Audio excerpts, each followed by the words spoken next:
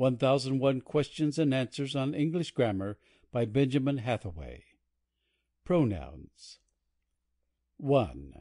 What is a pronoun? It is a word that stands for a noun. 2. What does the word mean? For a noun. It is the substitute for a noun. 3. What uses has a pronoun in a sentence? The same uses in general as nouns in making sentences. It may be subject, predicate of a sentence, may denote possession, and may be the object of a transitive verb or a preposition. 4. What is that for which the pronoun stands called? The antecedent. 5. What does this word signify? That which goes before.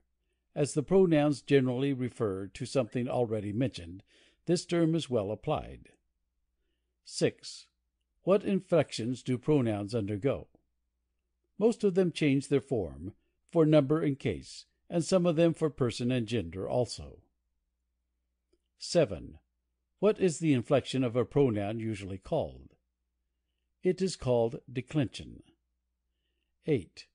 Into what classes are pronouns divided? Name them. The best authorities divide them into four classes personal, demonstrative, interrogative, and relative. There is, besides, another class of words that are really pronouns and are called indefinite pronouns. 9. Define a personal pronoun.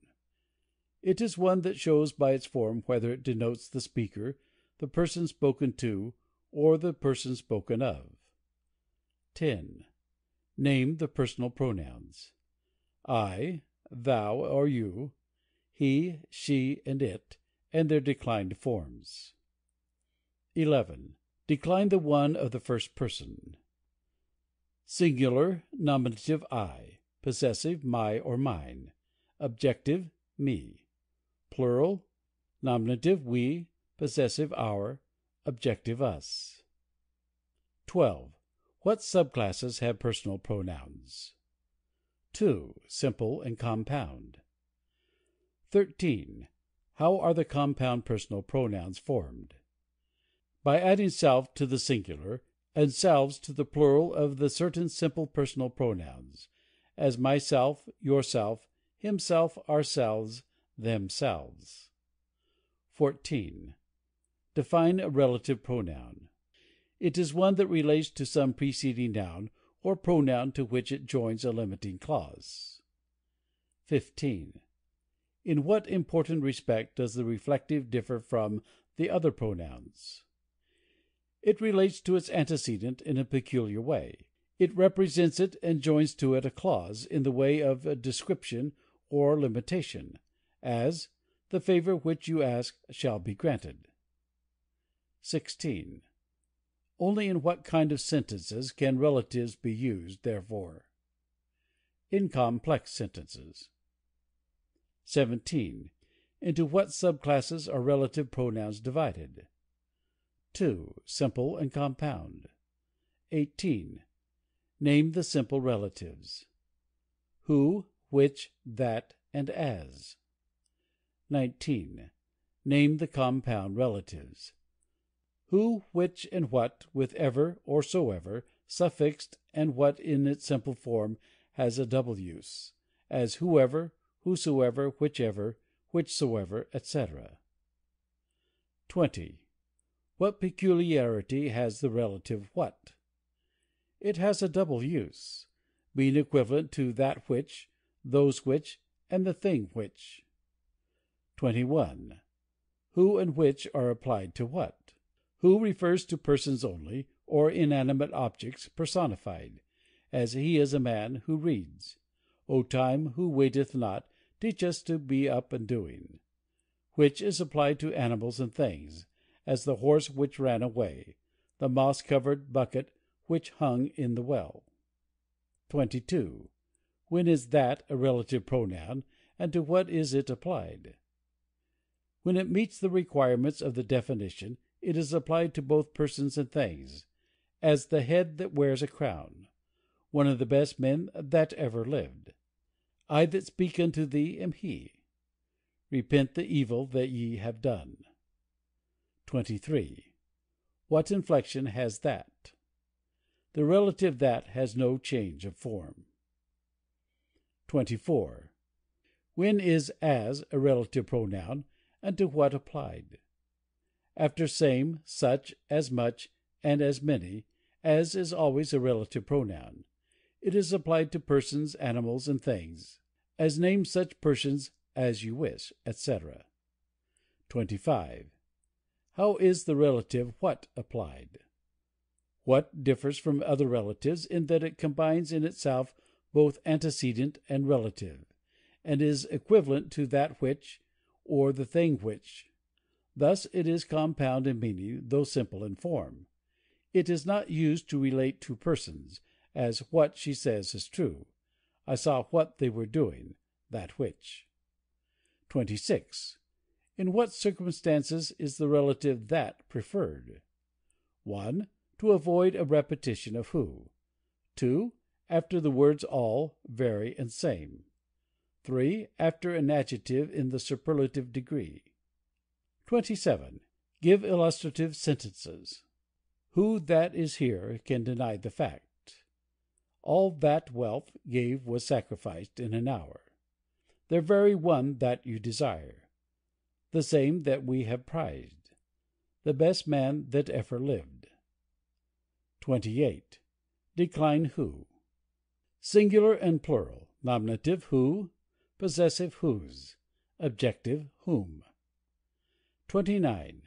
What peculiarities of declension have other simple relatives? They retain the same form for the nominative and objective. 30. Decline which. Singular and plural. Nominative and objective which, which. Possessive whose, whose. 31. How are compound relatives declined? In the same manner as the relatives who, which, and what. 32. How is as declined? It has no possessive form, and the nominative form is used in the objective case. 33. Explain concerning the nature of demonstrative pronouns. There are only two such in English, this and that, with their plural forms these and those. These words are usually adjectives, pointing out, directing attention to anything; as, "This book is mine." When the noun is omitted, the adjective word performs its office as well as its own, and then becomes a pronoun. This is mine. 34. Distinguish between the use of this and that. This, with its plural these, is used to signify both as pronoun and adjective, something relatively near; that and those to denote something further off. 35. Decline an interrogative pronoun. It is a pronoun used to ask a question, or to make an interrogative sentence. 36. Name the interrogative pronouns, and illustrate their use. They are who, which, and what. Who comes here? Which is your hat? What does he wish? With whose consent did he do so? 37. What is the usual place of the interrogative in a sentence? As near the beginning of the sentence as possible. 38. What is the antecedent of an interrogative pronoun? The answer to the question. 39. What inflections have interrogative pronouns? Who is used without any change of form for number, but it has three case forms, nominative who, possessive whose, objective whom. The others have no forms of declension, and are used only in the nominative and objective. 40. To what other interrogative use is which sometimes put? When in an interrogative use it designates a particular object, it is an adjective as which lesson did you learn? 41. Name the various ways in which the word that may be used. As an adjective. By that sin the angels fell. As a pronominal adjective. Such a man as that will win. As a relative pronoun.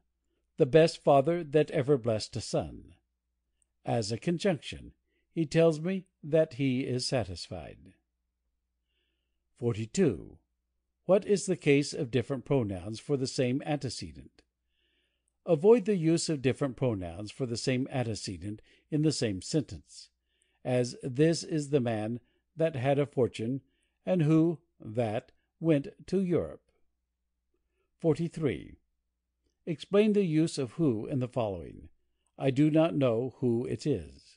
This sentence is an evident reply to the sentence, "Who is it?" and the who still remains an interrogative pronoun, having an unknown antecedent. End of section 8.